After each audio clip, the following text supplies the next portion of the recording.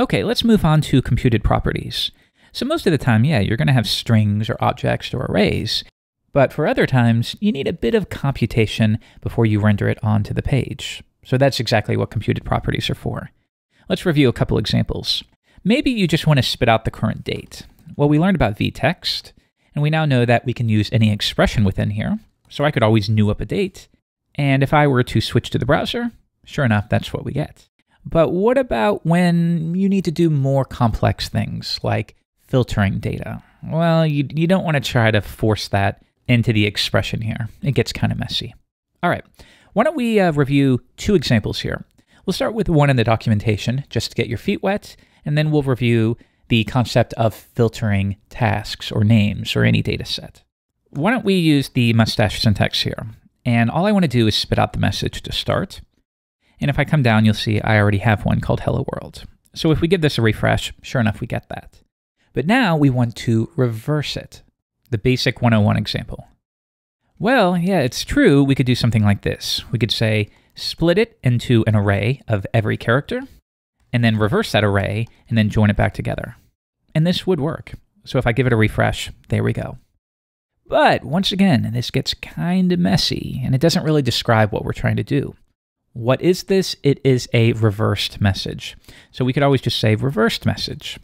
But now, if we run it, we don't get anything, right? And in the console, it'll let us know that it doesn't know what reversed message is.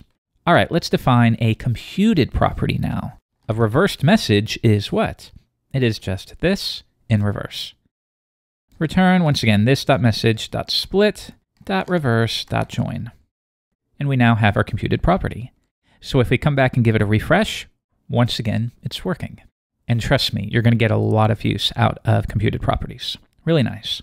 But what about something more practical? What about the situation where you have a collection of tasks, just to be generic? Now, each task consists of a description, like go to the store, and a indication of whether it's completed or not. So let me fast forward and create a handful of these. Okay, there we go. So an array of tasks, and notice some of them have been completed and some of them have not. Okay, so we want to render these on the page we can get rid of our old example here. And then we could just say within an unordered list, we can say li. We learned about the v-for directive, so I could just say for each task in tasks, then we're going to spit out what? Well, the description. So that means we could say spit out task.description. Okay, so now if we give this a refresh, sure enough, we have a collection of all tasks, and we'll give that a heading. However, what if we want to filter these to a subset of tasks? Like, I want to see only my completed tasks. Okay, well, we could do a couple things here. One, we could use a conditional, which you haven't learned about yet. We could use the v-if directive, and there's also a v-else directive. Anyways, we could say, I want to render this list item only if the task.completed property is set to true. Now, if we come back and give that a refresh, we only have two tasks that have been completed, this one and this one, so sure enough, that works.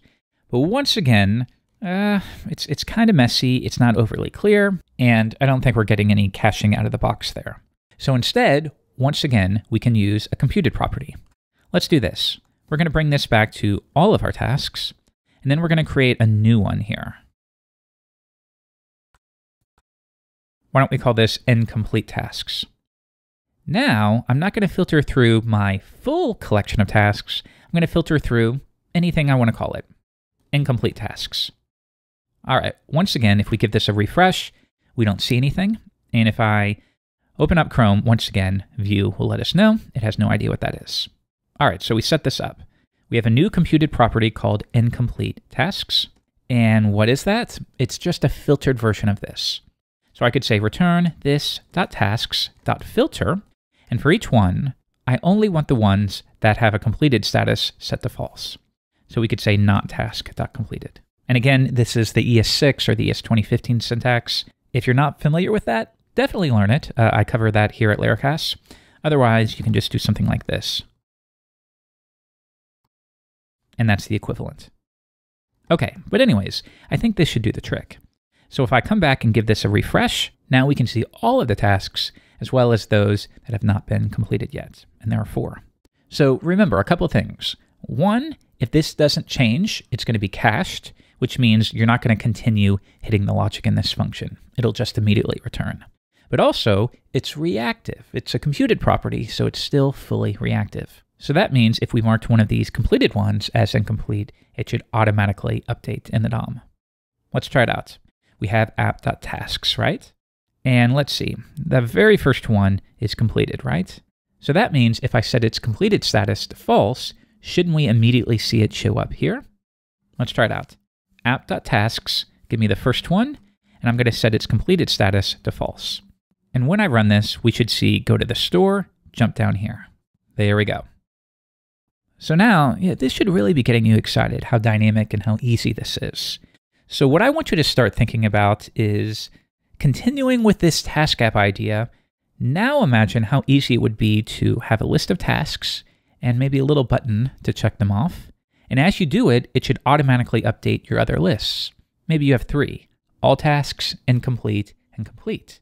And based upon how you click a button, it should dynamically update each of those lists. Why don't you play around with that, and then we'll move on to the next episode.